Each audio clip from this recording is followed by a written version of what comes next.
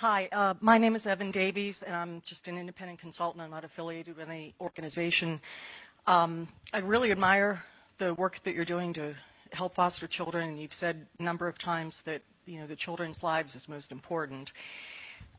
We had a, a murder a little while ago where 17 people, including many kids, were murdered in their schools. And how do you reconcile the children's lives are most important with the comments you've made to the media about it's naive and premature to talk about gun control and that it's culture and not guns that is causing these, these horrible thing, things?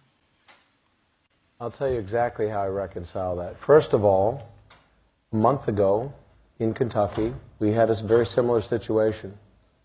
Made a very concerted effort to make sure that we removed the media circus from the healing process. So within 24 to 48 hours, you're probably not even aware, most people aren't, that I had a 15 year old come into a school in Kentucky last month and shoot 16 children at point blank range, two of whom died. A set of twins were both shot and taken to a level one trauma center. They lived. This is very real to me. I've sat with these families. You also probably are not aware of the fact that I've buried my oldest child died under different circumstances, but went to school and didn't come home. She was 17 years old. I know exactly, not exactly, it's not possible to know exactly what another person's going through, but I know exactly what it feels like to bury your oldest child.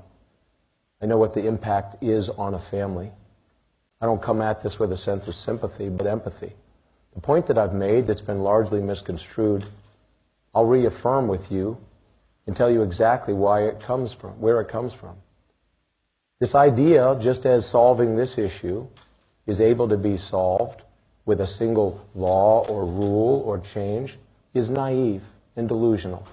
And so we shouldn't allow ourselves to entertain naive and delusional thoughts. It is part of a broader construct, just as this issue is. And the point that I made, that I'll reiterate, is that if we think that a part of what we are seeing is not a cultural problem, we're kidding ourselves. And the point that I've made is this. What has shifted in the last 10, 20, 30, 40, 50 years? It's not the percentage of guns that we find in homes. And you can give me a statistic that there's now more guns. Fair enough. I'll submit that that may be true. I'm not going to argue with you. But the reality is there's fewer homes that have guns in them than there were 50 years ago when children didn't walk into schools and shoot themselves and shoot each other. That's a fact. You can confirm that. But I'll tell you this. When I was a kid, kids brought guns to school. Kids brought guns on the school bus. Kids brought guns to school in their own uh, vehicles. Kids didn't shoot each other with them. So some things have not changed. What has changed? We as a culture, as a society, and it's very germane to this topic as well, we don't value human life like we did. We remove increasingly respect for the dignity of other people. You look at how rampant pornography is, the degradation and disrespect for women and for human life in general. It is so systemic. People of our age have not been exposed like our children have been. There's not a child in America that hasn't been exposed to pornography, I guarantee you, if they're above the age of 12. That's a fact. It is so systemic, it's horrific and it desensitizes us at every turn. And so we're desensitized to the value and dignity of human life. We're desensitized through, and this is to the heart of what I said that you seem to take exception with, is that through violent video games, where literally you are encouraged, and you can roll your eyes all you want, man, but I will say this. You explain to me the value of a game that encourages somebody to go back and finish him off, where you get points for, for kill counts and you slaughter people. We're desensitizing people to the value of life. And we see it through the lyrics and music, and we see it through television shows, and we see it through movies. We see it in the fact that the mores of this nation have changed.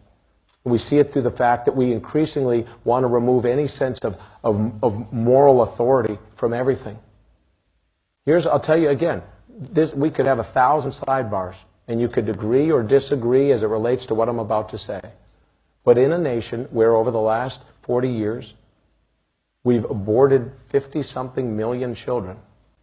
And we have multiple states with medically assisted suicide being provided by doctors. At both ends of the life spectrum, we're losing the value for life that we once historically had. You can say that's good, you can say it's bad, but it's a reality.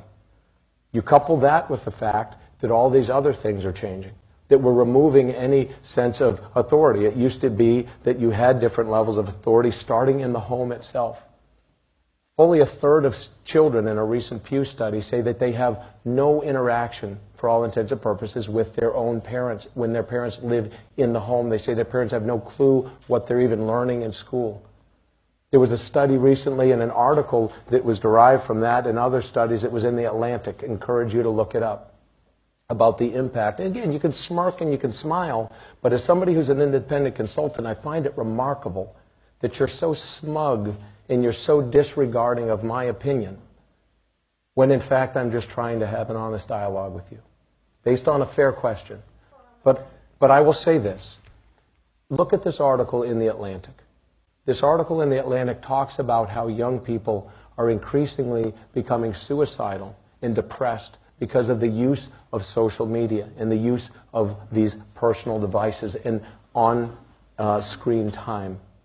All these are part of a cultural issue. In this cultural issue, if we're not addressing it, we are kidding ourselves because it also affects this issue we came here to talk about today, which is why these homes are broken, why so many children are finding themselves in government care, which is not the best solution. The government should not be raising our children, period. It just shouldn't. The fact of the matter is, we need people in the position like I am. And I had this same conversation um, less than an hour ago with the President of the United States. And I said to him, he should, I should. This whole room was full of cabinet secretaries and, and governors of other states. Those of us that are in a position of influence and the ability to say something, shame on us if we don't step up and call people to a higher authority. And there will always be those, including many in the media, whoever the messenger is, they're going to find the imperfection in that messenger. So if the messenger says we should do X, Y, Z as it relates to this issue or, or adoption and foster care, people will say, well, who is this person? They're an imperfect person. Well, so is every one of us. There's not a perfect person in America, but that doesn't mean we don't strive for perfection. There's not a perfectly morally upright person in America. That doesn't mean we don't espouse and aspire to reach for moral higher authority and expect more and demand more of our children. Shame on us if we don't sound the alarm. You want to take any kind of morality and change the mores of a nation, remove any sense of higher responsibility, try to pin it on any one thing and assume the government and a piece of regulation and a rule is the solution, and then we're shocked when these things happen. We're kidding ourselves.